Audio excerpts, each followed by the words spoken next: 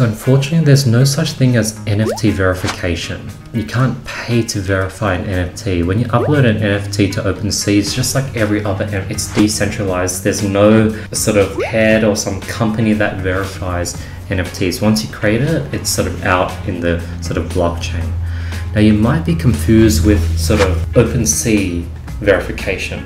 You definitely can get your NFT collection verified on OpenSea. It's just like Instagram verification where you sort of need to show credibility, get some news articles, prove, show who the founder is, and basically put a lot of PR against your project to get OpenSea to verify it. But a verification from OpenSea doesn't really mean anything to the NFT itself. It would definitely make it look good on OpenSea, and that's one of the pros when it comes to verifying NFTs on OpenSea.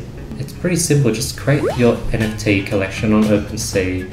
You don't need to verify it. Like even without verification, which is 99% of NFTs, there's no problem with you getting started. And yeah, if you want to verify it with OpenSea, it is going to be a long, long process. But if you're really serious and you want help with the whole process of creating an NFT, marketing it, getting PR behind it, because I've gotten a lot of PR for my brand, my company, Studying.com, and that's something you're really serious about, you really want to sort of build a brand and community around your NFT project, I am offering sort of one on one coaching for those who are really serious about their brands and need help and guidance, but I do have a three step process. Step one is you'll definitely need to go through my reviews to see if you would want to even be one of my success stories, which is my goal. I'm trying to create success stories from people worldwide. Step two is you would definitely need to check through my Instagram and YouTube content over the last 34 years to even see if you would want to work with me and, see if my style of teaching is something that interests you.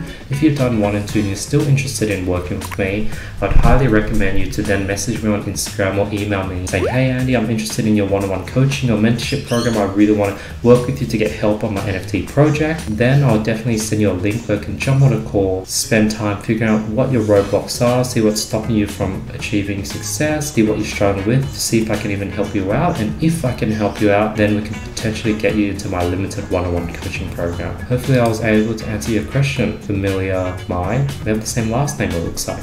But yeah, hopefully that answers your question. Peace.